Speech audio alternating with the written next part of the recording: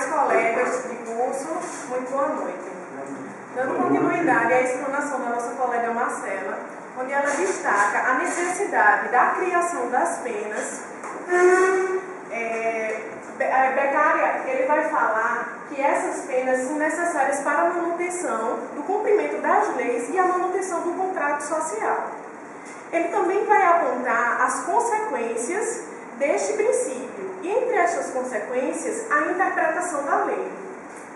Para o autor, o único que tem autoridade de decretar as normas das penas diante dos delitos é o legislador ou soberano, pois ele é o representante da sociedade através do contrato social.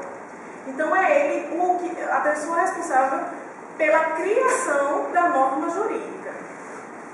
Todavia, faz-se necessário que exista um terceiro para julgar o ato, e esta função será desempenhada pelo magistrado.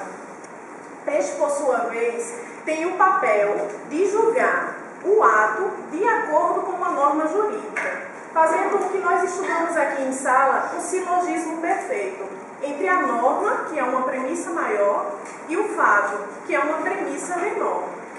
A lei deve ser é, fixa e literal, para que não exista lacunas da norma e para que o magistrado ele não use do mecanismo de, de interpretação das normas.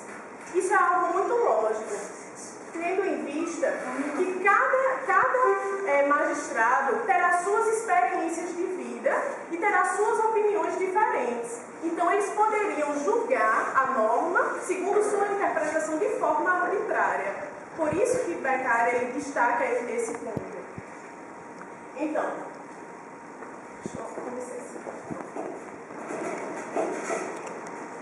o magistrado ele terá o papel de julgar o ato ilícito de acordo com a norma, como eu falei, fazendo silogismo. As ideias de Beccaria, eles trazem em seu bojo alguns princípios que vêm nortear o nosso pensamento penal moderno, como, por exemplo, o princípio da legalidade. Para finalizar nossa fala, eu deixo uma frase do autor no qual ele vem abordar. Quereis prevenir delitos, fazer com que as penas sejam claras e simples para que não haja necessidade da interpretação. Muito obrigada.